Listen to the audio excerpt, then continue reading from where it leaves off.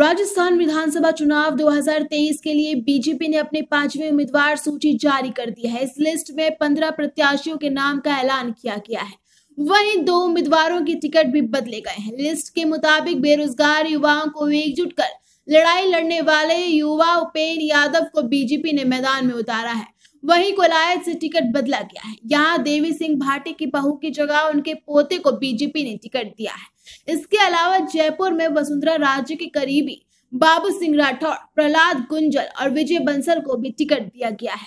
यहाँ देखें list BJP की पांचवी लिस्ट में हनुमानगढ़ से अमित चौधरी, कोलायत से अंशुमन सिंह भाटी, सरदार शहर से राजकुमार रिवाणा, शाहपुरा से उपेन यादव सिविल लाइन से गोपाल शर्मा, किशन पोल से चंद्रमोहन बटवाड़ आदर्श नगर से रवि नैयर, भरतपुर से विजय बंसल राजखेरा से नीरजा अशोक शर्मा, मसूदा से अभिषेक शेख शेरगढ़ से बाबू सिंह राठौड़ मावली से केजी पालीवाल, पिपलदा से प्रेमचंद गोचर, कोटा उत्तर से प्रहलाद गुंजल बारह अटरू से राधेश्याम बैरवा को जगह दी है।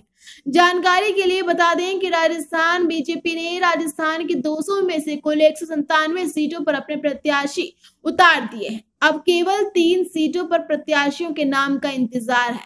ये सीटें हैं धौलपुर ज़िले की बाड़ी सीट और बाड़मेर ज़िले की बाड़मेर और पचपदरा सीट। वहीं इस बार दो उम्मीदवारों की टिकट भी बदले गए हैं। बारह अटरू से सारिका चौधरी की जगह राधेश्याम बैरवा को टिकट दिया गया है। वहीं कोलायत सीट से पूनम कंवर भाटी की जगह अंशुमन भाटी को टिकट मिला है।